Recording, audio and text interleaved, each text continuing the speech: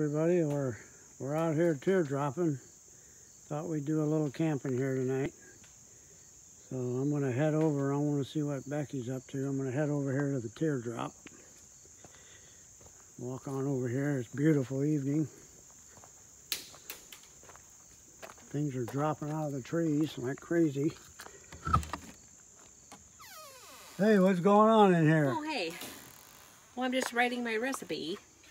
Yeah? What are you doing?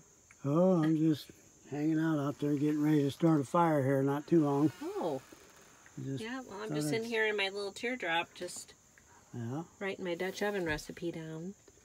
Yeah, well, I see you got plenty of room in there. I do. I have plenty of room. A lot of people wonder if Well, we see, it can... goes down underneath here, see, when Oh, yeah. Here, down. let me show them. I'll show you. Yeah. See, we can put our feet all the way down. So, see, Right, can... it goes down underneath, so Yeah. So there's plenty of room for two people. It's actually a queen size. you can stretch clear out if you're Yeah, you can stretch way out. feet tall. Yeah, I mean, you can totally roll over. Yeah. You can look outside and see all the nature. It's uh, really super cozy. When you get in here, you just want to like take a nap.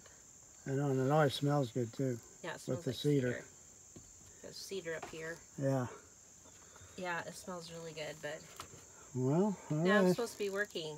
Now I like I know. You'll like probably taking take a nap nap. now. no, I gotta, I gotta finish my work, All right, and I'll, I'll be out. I'm just gonna finish keep this. our Dutch oven recipes going here.